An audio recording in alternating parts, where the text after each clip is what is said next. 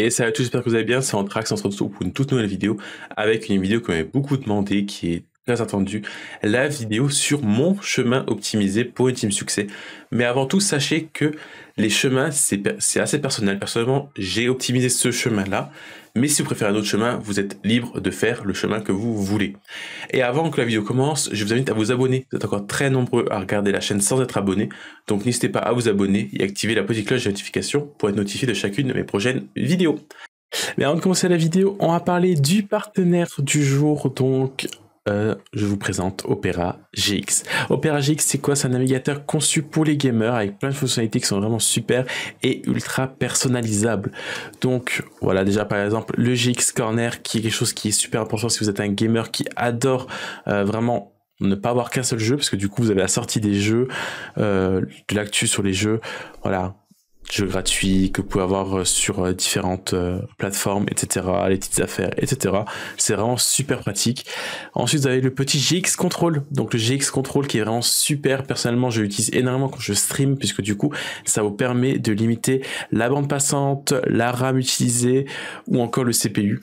Voilà, tout ça, c'est pour contrôler ce qu'Opera GX utilise. Donc c'est vraiment super, super sympa d'avoir tout ça. Ça permet vraiment de limiter l'utilisation d'Opera GX sur votre PC. Donc c'est vraiment quelque chose de top, notamment quand on stream. Ensuite, euh, des choses qui sont vraiment bien, c'est des petites intégrations. Donc, vous avez accès à Twitch. Vous pouvez par exemple regarder des streams. Voilà, vous avez juste à cliquer. Vous êtes directement sur la page du streamer. Et donc, c'est vraiment assez sympathique. Voilà. Sinon, on a aussi intégration avec Twitter. Donc, vous avez un petit raccourci Twitter, Discord également disponible. Et vous avez ainsi un player de musique. Donc, euh, donc le player, personnellement, j'ai utilisé euh, YouTube Music. Voilà, YouTube Music qui personnellement est mon player que j'utilise toujours. Donc c'est pour ça que j'ai choisi YouTube Music. Euh, il y a encore plein d'autres possibilités. Ensuite, il y a donc le petit bloqueur de pub si jamais. Mais en chose plus intéressante, il y a surtout notamment un VPN qui est disponible. Donc, hop, donc un VPN qui est disponible si vous utilisez par exemple des sites streaming comme Netflix, vous avez du coup accès au catalogue du monde entier, donc c'est vraiment assez pratique. Également petite chose, le thème, je vous ai dit, il est hyper personnalisable, du coup vous avez le choix, hein. donc il y a plein de thèmes, il y a en violet, voilà, voilà, il y a plein de choix. Personnellement, euh, c'est celui-ci que je préfère. Et vous avez aussi le choix entre clair et sombre, évidemment. Donc c'est à vous de voir ce que vous préférez. Ensuite, il y a également une petite nouveauté, c'est qu'Opera GX lance du coup une, euh, application mobile qui vous permet du coup d'avoir Opera GX sur mobile. Mais ça, je vous en parle tout de suite. Donc voilà, Opera GX lance une application sur téléphone qui vous permet d'avoir les bénéfice qu'Opera GX sur ordinateur, mais sur votre téléphone. Donc c'est plutôt pratique. Personnellement, je l'utilise depuis quelques jours maintenant, mais je peux pas vous montrer en fait en vidéo puisque du coup ma cam ne le permet pas. J'ai des petits problèmes par rapport à ça, mais en tout cas je l'utilise. C'est vraiment assez intéressant. C'est pourquoi je vous montre la petite vidéo. Donc n'hésitez pas à télécharger Opera GX grâce au lien en description et également sous le premier commentaire épinglé de la vidéo. On se retrouve tout de suite avec le cœur de la vidéo. À tout de suite. Donc pour commencer la vidéo, euh, un principe très simple, je vous conseille d'avoir un personnage avec une monture ou alors un mantillier avec l'autopilote. Donc l'autopilote, c'est quoi? C'est ce qui va vous permettre en fait de traverser très rapidement les maps sans même vous soucier du personnage. Comme ça, pendant que ce personnage traverse les maps, vous faites les donjons. Voilà, aucune perte de temps sur les donjons. Donc on commence directement avec le premier donjon qui est donjon d'Antinéa, donc donjon que je vous ai déjà présenté en vidéo. donjon d'Antinéa est le premier sur ma liste puisqu'il permet en fait de faire la liaison entre trois donjons. Le donjon d'Antinéa, le donjon Meno et le donjon Cthulhu, qui sont pour moi du coup les trois premiers sur la liste parce qu'en fait ils sont assez proches les uns des autres et me permettent pendant ce temps avec le panda d'aller TP au prochain donjon clé qui est le donjon Minotaur. Pourquoi le donjon Minotaur Puisque c'est le donjon en fait qui est le plus proche du bateau pour l'île de Fricost. Donc la TP au donjon Minotaur est très intéressante, sachant que le donjon, on peut éventuellement le taper. Personnellement, ce que je fais, c'est que je rentre dans le labyrinthe. Si le Deminoboule et le Minotaur sont dans les premières salles, et eh ben, je vais taper le donjon. Donc Minotaur plus Minotaur. Mais si le Deminoboule et le Minotaur ne sont pas présents dans ces trois salles-là, je skip totalement le donjon puisque je ne vais pas perdre de temps dans ce donjon. Une fois que vous avez fait ce donjon ou non, vous allez directement reprendre le bateau pour revenir à Macna. Et d'Amakna, vous allez au bateau de Frigost. Voilà, vous avez une quinzaine de maps, je crois même pas, entre les deux bateaux. Vous prenez le bateau, mais pendant ce temps, votre panda a préparé une TP. Il prépare une TP au donjon ventre de la baleine. Donc, pendant que vous êtes arrivé à Frigost, votre panda a TP au ventre de la baleine et vous allez directement chercher une petite quête, la quête Kidibom. Il faudra alors avancer dans cette quête Kidibom jusqu'à l'étape euh, où on doit aller parler aux esprits différents dans Frigost. Donc il y a plusieurs esprits à travers Frigost que vous allez parler au fur et à mesure que vous avancerez dans les donjons. Donc pour ce faire, le panda a déjà préparé une TP au donjon Royal Moot. Donc il vous TP au donjon Royal Moot. Vous allez taper au donjon Royal Moot et en même temps vous avancez toujours dans la quête euh, qui est Bob et en même temps le panda prépare toujours la TP au donjon suivant. Donc vous enchaînez Royal Moot, Morceau Royal, euh, Ben le Ripat, Obsidian. Ensuite, vous allez arriver à la zone Tengu, mais vous n'allez pas taper le Tengu tout de suite. Avant de taper le Tengu, il y a une autre quête à lancer qui est la quête Bon Monstre de Neige. Bon Monstre de Neige est une quête très importante puisqu'elle permet de faire un stock d'obsidienne qui est une ressource qui coûte vraiment assez cher. Même si le prix a un peu baissé en ce moment, c'est quand même une ressource qui coûte assez cher et surtout permet de vous craft des clés gratuitement si jamais vous voulez des clés. Donc, vous lancez cette quête, vous la réalisez en entier. Si c'est pas le bon jour, bah, vous ne pouvez pas lancer la quête, c'est pas un souci, mais en général, il y a quand même pas mal de jours où vous pouvez lancer la quête. De toute façon, tous les détails seront en description hein, par rapport aux jours des quêtes, etc. Puisque du coup, la quête là ne se lance pas tous les jours de la semaine. Voilà.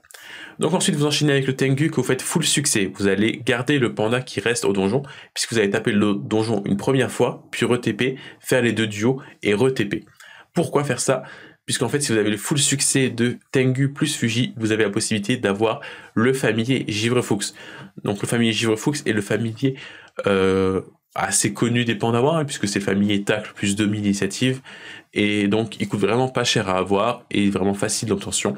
Donc voilà, vous avez juste à faire une map euh, par rapport au donjon pour récupérer ce petit familier. Ensuite, on part directement au donjon coriandre. On enchaîne donjon coriandre facilement et ensuite on attaque une nouvelle quête. Cette quête n'est pas réellement une quête en fait à vrai dire, c'est juste la quête d'accès à la zone d'Azak, mais il faut la réaliser pour pouvoir taper le Dazak Martegel. Vous tapez tranquillement le donjon, et une fois à la sortie du donjon, on va directement aller taper un petit Colosso. Donc on enchaîne avec le Colosso, puis le Glour Céleste, et du coup on arrive enfin à la fin de Frigost 1 et 2. On va directement chercher le Zap Frigost 3 et on enchaîne avec une nouvelle quête, puisqu'on va aller chercher euh, la quête pour avoir l'égide Feka, l'égide Feka qui nous permettra du coup d'avoir le sort Necronix. On fait la quête de l'égide de Feka à cette étape-là pour simplement enchaîner les donjons encore de Frigost. Donc, une fois qu'on a cherché la quête, on reprend le zap pour Frigost 3 avec les persos, mais on ne va pas tout de suite aller au donjon, on va d'abord aller une map à gauche pour lancer la quête de la vie de recherche du compte à rebours qui nous permettra de gagner des doublons assez facilement. Ensuite, on enchaîne Ilisael, on fait Mrs. Silar, Klim, euh, Nilesa et Compte dans l'ordre que vous voulez, sauf le compte forcément qui est en dernier. Une fois que vous avez réalisé ces donjons-là, vous avez la possibilité de faire euh, le donjon Ghoul. Personnellement, c'est ce que je vais faire. Je vais faire le donjon Ghoul, donc le donjon Aneris. J'enchaîne le donjon Aneris pour ensuite faire le petit donjon Worker qui est juste à côté, entre guillemets, hein, parce que du coup, euh, je lance directement l'autopilote au donjon Worker avec mon panda, pendant que les autres persos tapent le donjon. Donc voilà, ça me fait gagner un peu de temps. Ensuite, personnellement, je vais directement au euh, donjon des Radamakna. Voilà, j'ai tapé le donjon des Radamakna, donc le Sphincter Cell, je vais le taper. Et ensuite, j'enchaîne avec le donjon Gros Loup. Voilà, donc je fais des petits donjons entre temps, avant de taper les plus gros donjons, donc niveau 200. Euh, simplement parce que c'est des donjons qui sont un peu sur le chemin, entre guillemets. Donc là, il nous reste encore quelques donjons à taper, mais il y a aussi quelques petites choses à récupérer. Donc, avant tout, je vais d'abord à Automei. Donc du coup, je vais prendre l'accès à Automei. Je vais taper le donjon Kimbo. Voilà, je vais faire le full succès sur le donjon Kimbo, même le duo, pour pouvoir avoir le Coculte, le familier Coculte, qui est un familier qui donne beaucoup de Kama, mine de rien. Parce que du coup, c'est du 1 million x 4, c'est vraiment assez intéressant. Une fois qu'on a fini avec le Kimbo, on va enchaîner avec euh, Saharash. Mais Saharash, je vais pas TP directement à Talcacha. On va simplement faire tous les donjons de Saharash. On va commencer du coup par le Mantiscore, puis le El Pico, le Pervers et ensuite Talcacha.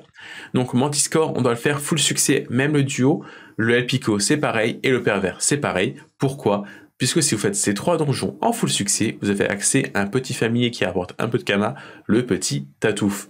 Donc le Tatouf est une astuce kama, parce que du coup, il rapporte beaucoup de kama. Euh, quand j'ai commencé les Team Succès, il rapportait jusqu'à 5 millions de kama unités, donc c'était du 20 millions de kama euh, de gagner sur la Team Succès, c'était vraiment énorme. Là, ça a un peu baissé maintenant les prix, parce que c'est un peu répandu comme technique, mais c'est pas grave, ça reste encore des kamas qui sont assez free. Ensuite, on va enchaîner avec une TP au donjon Talcacha. Donc donjon Talcacha qu'on va faire pour en même temps toujours continuer encore pour la quête de l'égide de Feka, mais également pour les ressources qu'apporte le donjon. Même si ça vaut pas très cher, c'est toujours très intéressant. Personnellement, je vous dis tout de suite, je skip le donjon Torquelonia. Donjon Torquelonia, je ne fais pas à cause de la quête qui met un peu de temps et le prix des ressources n'est pas assez intéressant pour ma part, mais si vous voulez le faire, vous pouvez le faire dès maintenant, vous faites le donjon Torquelonia. Ensuite, euh, il nous manque plus que euh, allez finir en fait la quête. Voilà. Il nous reste à aller terminer la quête, terminer la quête de Feka. On termine la quête de Feka, on a donc accès à Feka et on peut taper du coup les derniers donjons qui nous manquent. Il nous manque euh, Bethel, Solar pour euh, Feka. Il nous manque également le Protosaurus qu'on peut aller terminer puisque du coup on a terminé la quête Kidibome. Il nous manque les dimensions, il nous manque Heliocalypse. Donc personnellement ce que je fais à ce moment-là, je vais TP au donjon guerre pour que mes persos puissent enchaîner les quatre donjons Heliocalypse comme ils veulent. Ensuite, je peux, pendant ce temps, préparer une TP au donjon Solar ou au donjon Bethel. Et ensuite, je fais l'autre, hein, évidemment, je fais l'un puis l'autre. Et ensuite, je fais une TP au donjon Protosaurus. Une fois tous ces combats réalisés, il me reste plus que les donjons Dimension à faire. Et c'est là que je fais mes donjons Dimension pour aller taper du coup le Vortex, l'arène des voleurs, le Nidas et le Chaleuil. Mais attention, le chaleuil, c'est assez important. Je le fais en full succès. Pourquoi en full succès? Puisque du coup, vous pouvez taper enfin, vous pouvez aller récupérer un petit cougnard. Le cougnard vaut assez cher. Donc, le full succès du chaleuil permet d'avoir le cougnard facilement. Et ensuite, en toute fin de run, je fais une autre petite chose que j'ai ajoutée récemment. Je fais le full succès sur le donjon Abrachnide ancestral et sur le donjon Shenmue. Vous allez me dire pourquoi ces deux donjons qui ne rapportent absolument rien mais c'est parce que ces deux donjons en full succès vous permettent d'avoir le famille Abra. Donc le famille Abracadabra, c'est le familier qui vaut extrêmement cher puisque c'est un familier datant de la 1.29 qui skip un peu des animations qui est très utilisé du coup par les farmers comme Imibiot. Donc du coup il vaut jusqu'à du 2 millions unités. Sur Merana il y a eu ce prix là il y a pas longtemps, 2 millions unités pour le familier niveau 1. Voilà, c'est pour vous dire à quel point ce familier est rentable. Et donc je vous invite à le faire si jamais vous voulez faire un peu de cabin encore en plus. Petit bonus, j'ai oublié de vous préciser que les donjons Pandala sont également à rajouter à la toute fin, puisqu'il y a aussi une quête d'accès à Pandala. Donc vous les faites en même temps que tout ce qui est donjon dimension. Si vous avez de la composition V1 toujours, vous pouvez faire les trois donjons, que ce soit euh, donjon roi et et donjon cabal. Si vous avez la team V2, même si elle est beaucoup moins forte actuellement, vous pouvez euh, faire euh, uniquement le donjon Cabal, puisque le donjon Roi et Reine ne sont pas adaptés à la Team 199 euh, V2. Par contre, au niveau 200, vous pouvez faire n'importe lequel des trois donjons sans aucun souci. Pour les autres compositions, c'est à vous de voir ce que vous gérez, ou alors si vous avez des persos passeurs, voilà, faites vraiment ce que vous voulez. Mais les trois donjons sont à placer à la fin à cause d'une quête d'accès à Pandala. Voilà. Je vous laisse avec la suite de la vidéo. Donc voilà, c'est pour moi mon tour des donjons. J'espère que la vidéo vous a plu. En tout cas, c'est le cas, n'hésitez surtout pas à vous abonner, à laisser un petit pouce bleu et me dire en commentaire votre chemin ou ce que vous, améliorez par rapport à mon chemin, ce que vous trouvez qui est optimisé, etc. En tout cas, j'espère que la vidéo vous a plu. On se retrouve très vite pour d'autres vidéos.